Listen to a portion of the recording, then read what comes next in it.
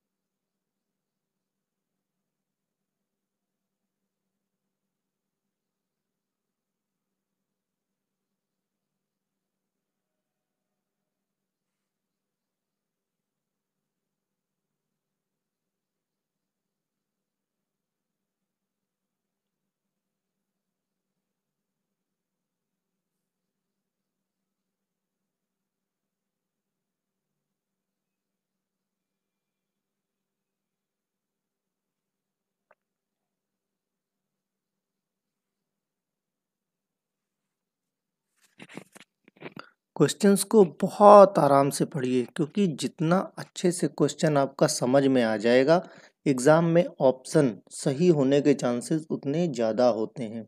और बिल्कुल डिस्ट्रैक्ट मत होना।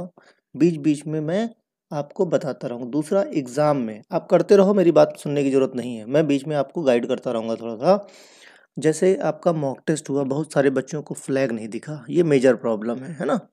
तो बच्चों फ्लैग ना दिखना ये प्रॉब्लम है आपके यहाँ नेटवर्क इशू की।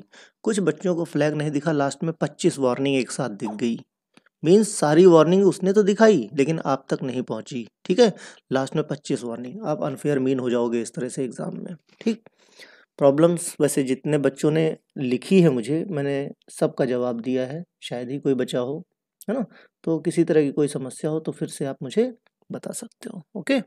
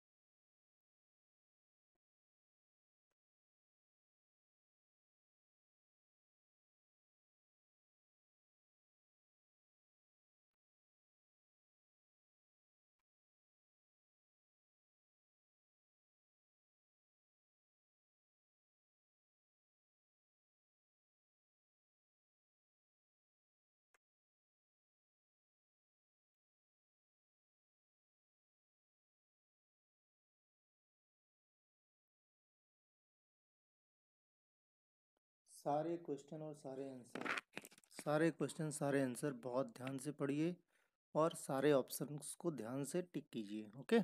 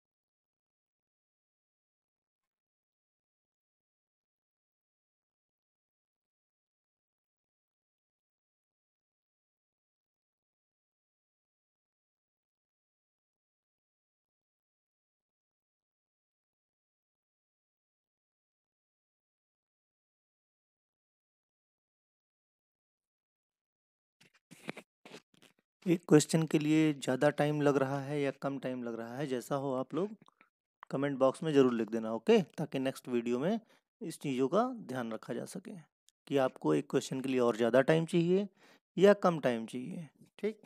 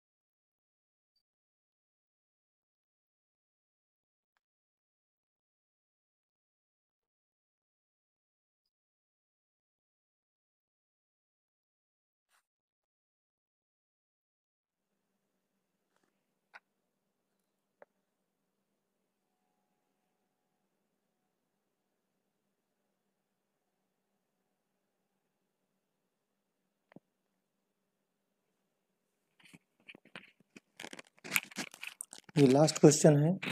उम्मीद है क्वेश्चंस आप लोगों को अच्छे लगे होंगे, ठीक? तो जो भी आप लोगों ने आंसर मिलाए हैं कॉपी में लिखे हैं, अब आप लोग उसको आंसर सीट से मिला लीजिए। किससे मिला लीजिए? आंसर सीट से। अब ये क्या है? Your test is successfully completed now you can see the answers तो दिस इज़ योर आंसर इनसे जो है, आप आराम से समय लेके वीडियो को पॉज करके आप जो है क्या कीजिए अपने अपने आंसर मिला लीजिए और कमेंट सेक्शन में लिखिए कि किसके कितने सही हुए। मुझे भी तो पता चले, भाई मैं पढ़ा रहा हूँ तो राइट है ना जानने का कि कितने सही हुए, कितना आप लोग पढ़ रहे हो और कितना ईमानदारी से पढ़ रहे हो। ठीक तो कल का क्वेश्चन बनेगा किसका? होप सोप फार्मास्यूटिक्स का। तो पढ़ के रखना, क्वेश्चंस वीडियो के भी हो सकते हैं और एक दो बाहर के भी हो सकते हैं। ठीक। तो बच्चों तो क्वेश्चन मिला लीजिए वीडियो पॉज करके और कमेंट सेक्शन में लिखिए, जैसा भी हो, कम ज़्यादा टाइम लगे, लगा हुआ हो, उसके लिए भी आप लोग मुझे बता सकते हो कि सर थोड़ा कम टाइम देंगे तो भी चलेगा या थोड़ा टाइम बढ़ाना पड़ेगा पर क्वेश्चन ठीक है बच्चों?